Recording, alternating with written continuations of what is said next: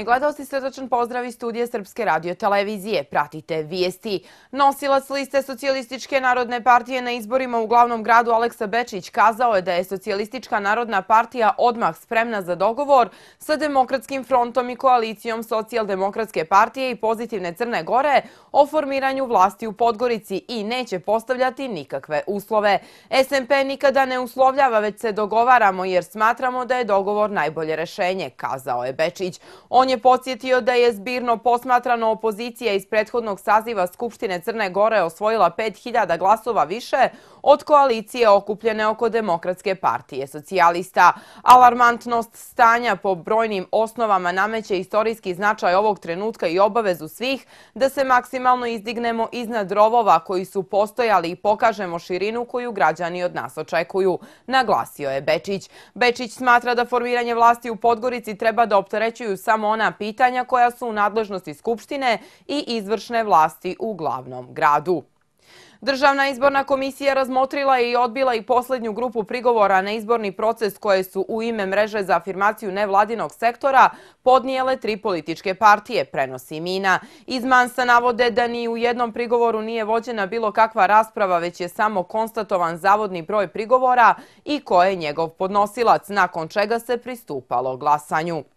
Sindikat Podgoričkog kombinata aluminijuma zatražio je od Ministarstva ekonomije da obezbijedi uslove da se predstojeći prelazni period u fabrici prebrodi bez većih socijalnih problema.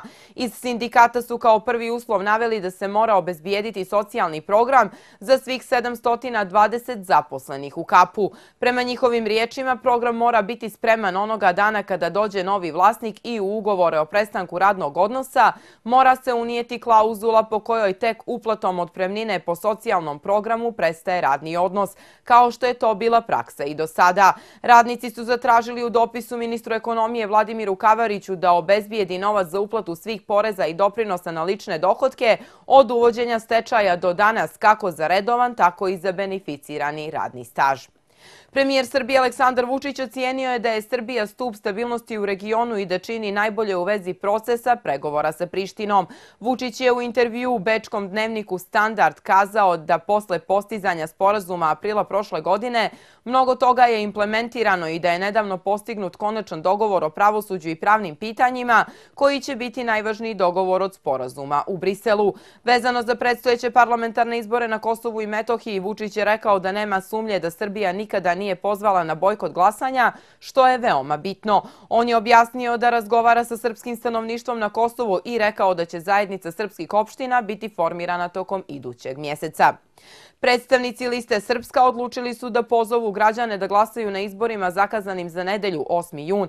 Posle posjete direktora Kancelarije za Kosovu i Metohiju Marka Đurića Gračanici i razgovora sa premijerom Aleksandrom Vučićem, predstavnici Srba iz pokrajine procijenili su da je bojkot loše rešenje. Rezultati izbora i broj mandata Srpske liste zavisit će od odziva, a izlaznost u velikoj mjeri od poruka koje se čuju iz Beograda, ali i prepreka koje pred birače i njihove predstavnike postavlja Priština.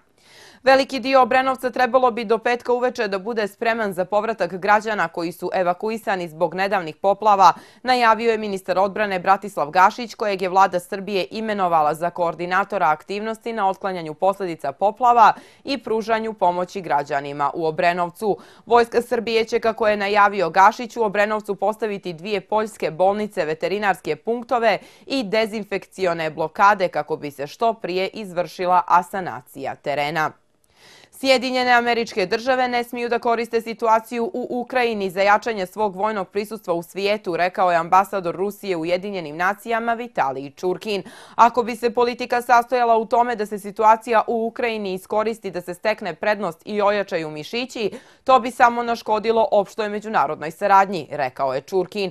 On smatra i da predstavnici Zapada u Savjetu bezbjednosti Ujedinjenih nacija pokušavaju da politizuju ruski nacrt rezolucije o Ukrajini, prenio je glas Rusije.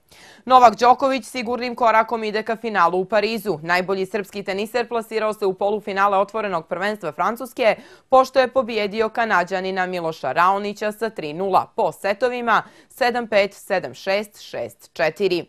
Vaterpolo reprezentacija Crne Gore pobjedila je u Herceg Novom u prijateljskom meču selekciju Rusije 11-9. Meč je imao humanitarni karakter, a prikupljeni novac 2100 evra biće upućen poplavljenim područjima u Srbiji i Bosni i Hercegovini. U Crnoj Gori danas se očekuje pretežno sunčano vrijeme, na sjeveru promjenljivo oblačno je moguća je kratkotrajna kiša ili pljusak sa grmljavinom, koji poslije podne ponegdje mogu zahvatiti i centralne predjele. Vjetar slab do umjeren promjenljivog smjera, najviša dnevna temperatura do 28 stepeni. Uvaženi gledalci, bile su to vijesti Srpske radiotelevizije. Zahvaljujemo na pažnji i ostanite uz naš program.